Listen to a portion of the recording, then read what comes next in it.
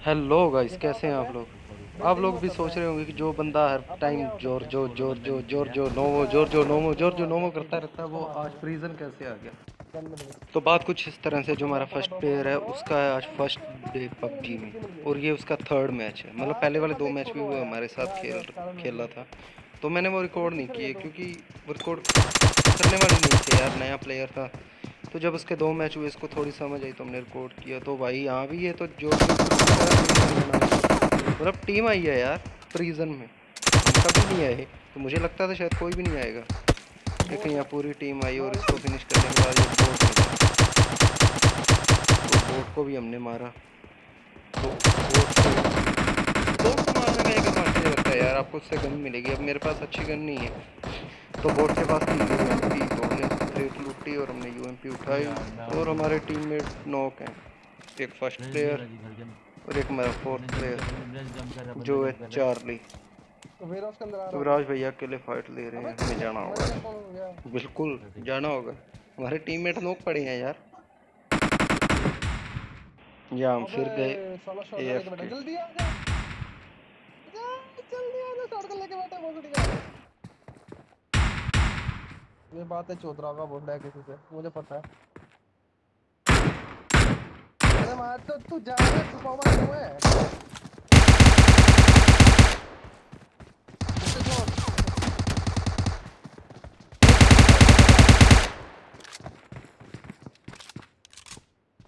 Just मार दियो। अबे ऐसे क्या कमाल ले हाँ अबे बोट आ रहा है उसको छोड़ उसको छोड़ उसको छोड़ बोट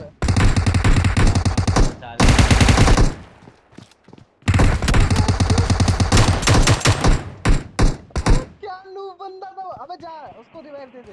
ये बोट यार जब कोई टीम उतरती है तो बोट डिस्टर्ब करता है मतलब समझ नहीं आता बंदा किस तरफ़ है और बोट किस तरफ़ है।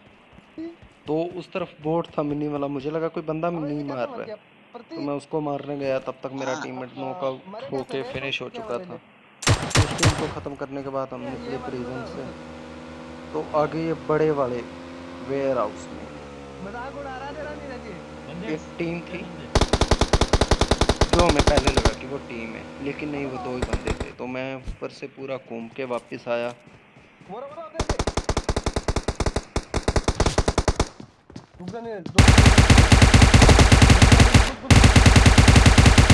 ओके दोनों नॉक हैं। पीछे है तेरे पीछे पीछे।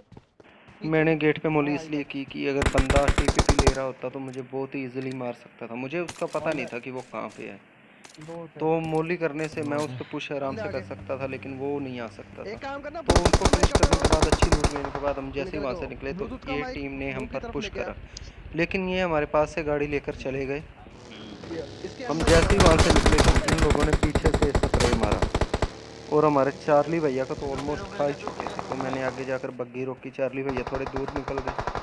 तो वो टीम ने गाड़ी से हम पे पुश किया और चार्ली भैया को तो गाड़ी गाड़ी से मार दिया यार। इजीली मार सकता है। बहुत बहुत डैमेज है भाई जस्ट बहुत डैमेज है। गाड़ी को मारे वो चुप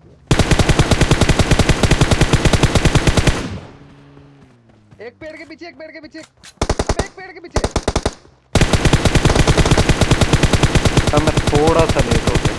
ये साला खा ही गया जाते जाते किल कंफर्म कर गया अपना। आ गया वो भी आ गया। गाड़ फाड़ दी।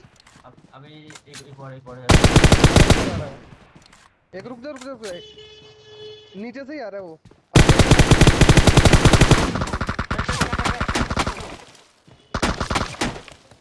इसका लैग जहाँ मैं लग रहा था कि ये सिर्फ़ दो बंदे हैं लेकिन नहीं ये तीन बंदे थे। और ऊपर से मेरे पास एमओ भी नहीं थी। मेरी एम फोर में ओनली 18 एमओ बची। तो अगर मैं M4 से उसको दोबारा से मारता तो मेरी एमओ उसी वक्त फाइट के अंदर ख़त्म हो जाती।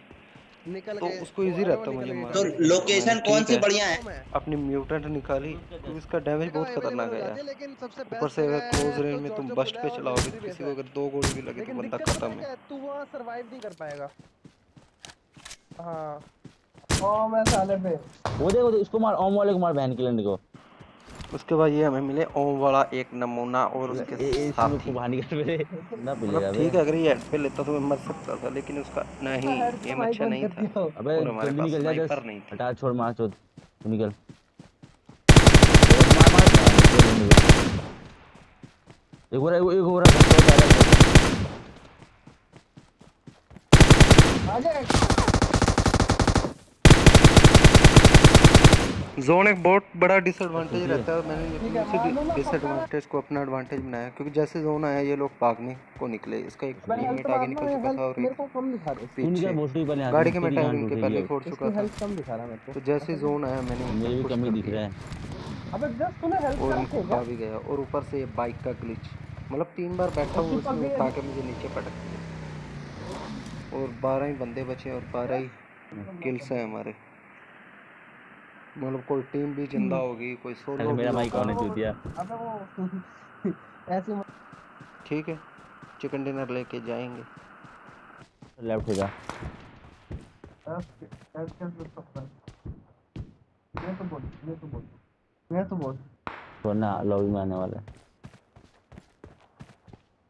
तो बोले से छोड़ रहा हूँ साले को। नहीं भगते हुए आएगा।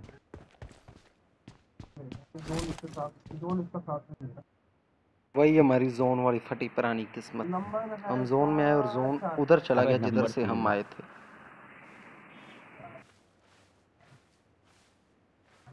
दूसरे वाले बंदे भी ये लेफ़्ट में। है ले जा भाग जा। जैसे बस पचास सेकेंड है।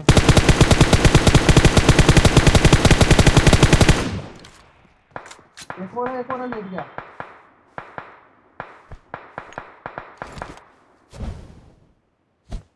थोड़ा ऊँचा। थोड़ा ऊपर थोड़ा ऊपर। थोड़ा ऊपर थोड़ा नीचे जरा हाथ को बैठा देखने दे लाल पे गिरा तुझे हाथ तो आएगा हाँ। हाँ उस पेड़ पे। अबे रुक। मार उसे।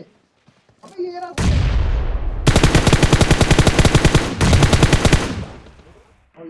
हम जो ग्रेनेड मैंने ऐसे करे थे उनका बहुत बड़ा एडवांटेज रहा। कि इनके दो बंदे तो मेरे ग्रेनेड से ही पिल गए और मुझे एक ही बंदा मारने की ज़रूरत पड़ी। तीन थे वो। और बचे ये दो बंदे। तो अब दिक्कत ये है कि मुझे जोन में जाना है ये ऊपर क्योंकि वाला मेरे पास बस छह स्मोक वाले जस्ट तू गलती तो है ऐसे टाइम पे स्मोक हमारा बहुत अच्छा साथ देते हैं एक अच्छा कवर मिलता है अच्छी स्मोक वॉल बनाओ और जोन की तरफ़ निकलो। मेरे पास जैसे स्मोक खत्म हुए मैंने फिर से लूटा। इस पोस्टर लूटने की पड़ी है।